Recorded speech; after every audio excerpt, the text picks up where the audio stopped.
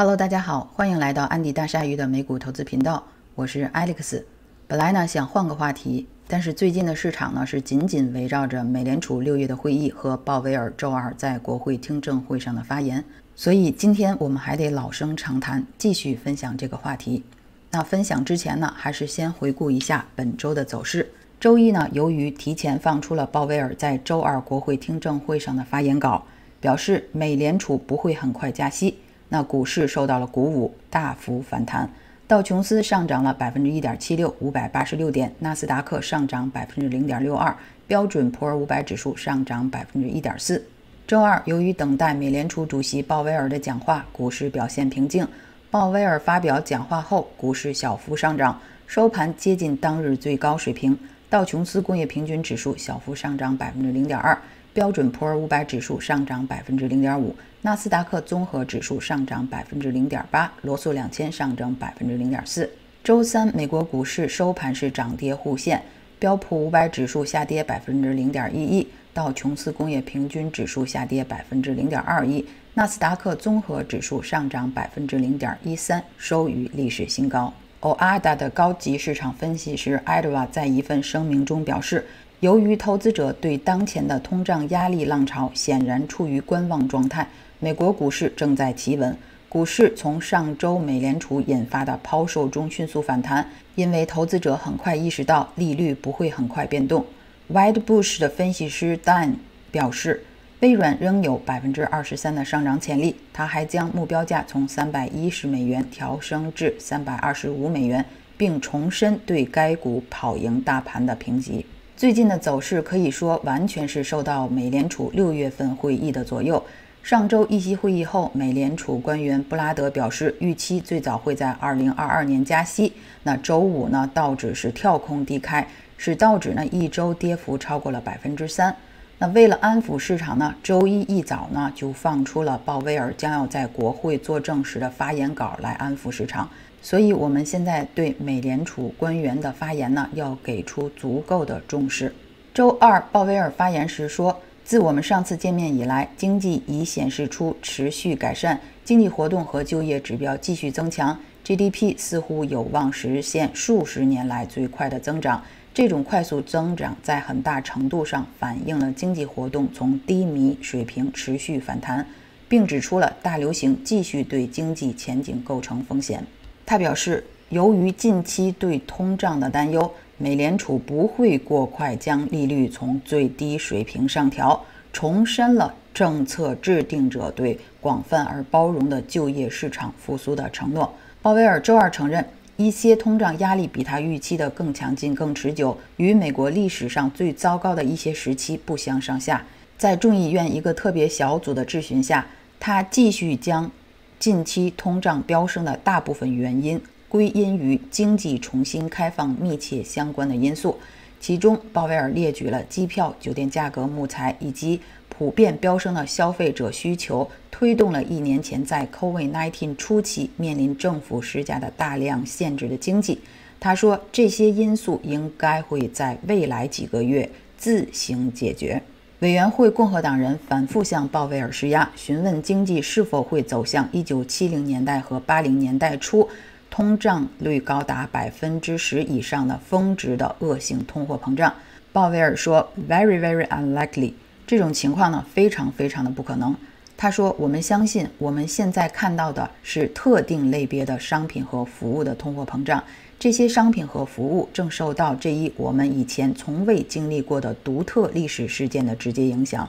目前的情况是由对劳动力、商品和服务的极其强劲的需求，加上供应方有点措手不及造成的。他承诺，美联储将对其作用保持警惕。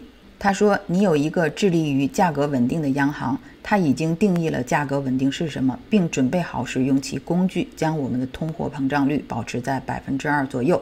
所有这些事情都向我暗示，像我们在一九七零年代看到的那样一段经历。我不希望这样的事情发生。”但小组中的共和党人反驳了通胀论调，主要归咎于拜登政府的经济政策导致上行压力，以及美联储可能不得不加息的可能性。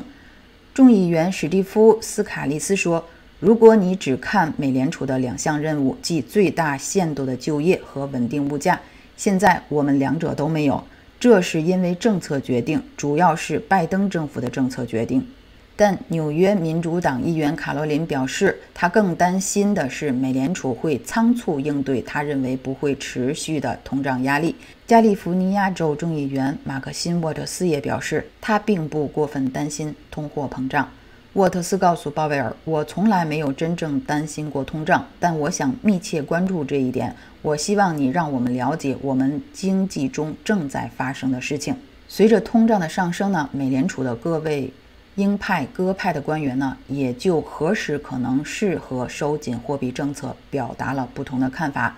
纽约联邦储备银行行长、鸽派官员约翰·威廉姆斯表示，美联储官员将密切关注经济数据，以确定何时开始调整货币政策是合适的。任何关于何时调整利率的讨论都还很遥远。旧金山联邦储备银行行长、鸽派官员玛丽·戴利表示。美联储可能会在今年年底或明年初开始减少对美国经济的特别支持。他说：“我看好经济复苏，实现充分就业和美联储百分之二的通胀目标的实质性进一步进展。”美联储去年十二月为减少每月一千两百亿美元的资产购买设定了门槛，在我们的视线之内。今年晚些时候或明年年初，我认为我们有可能实现这一目标。我们还没有到那里，但开始为我们达到这个门槛的时间做准备是合适的。他说：“相比之下，谈论利率的任何变化甚至都没有摆在桌面上。美联储需要在政策上保持稳定，而不是对未来几个月劳动力市场和通胀的波动数据做出反应。”美联储鹰派官员亚特兰大联储主席拉斐尔·博斯蒂克周三表示。央行可能在2022年加息，并在短期内开始缩减资产购买。他还表示，美国较高的通胀可能会持续长达九个月。另一位美联储的鹰派官员克利夫兰联邦储备银行行长梅斯特说：“缩减决定应该等到秋天，到九月，我们可能会更多地了解劳动力市场的供需问题如何演变。”梅斯特周二表示，在劳动力市场夏季取得更多进展之前。我不想调整央行的宽松货币政策立场。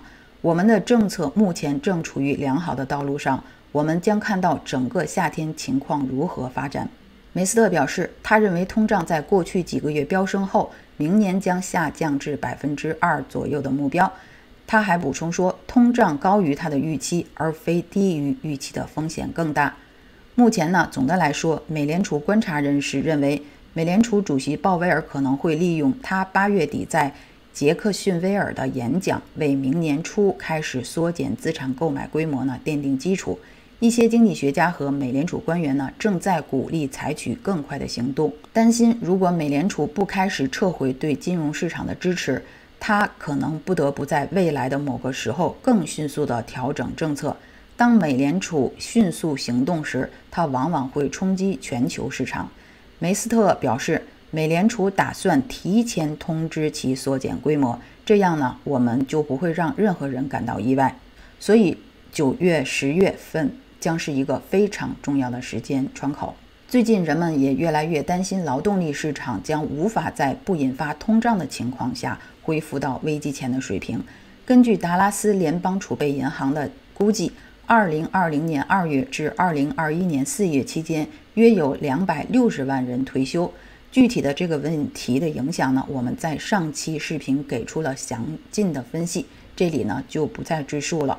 还有另一种说法，鲍威尔之所以发表如此鸽派的证词呢，是基于他任期的考虑。记者问及拜登必须在未来几个月内决定是否再次提名鲍威尔担任美国最高银行行长。白宫官员呢是拒绝了这一过程发表评论。鲍威尔最近的言论呢是令白宫官员感到高兴。他们表示，美联储将2021年经济预测从百分之五调至百分之七，这清楚地证明了总统的做法正在取得成效。这将是一九八四年以来最快的经济扩张。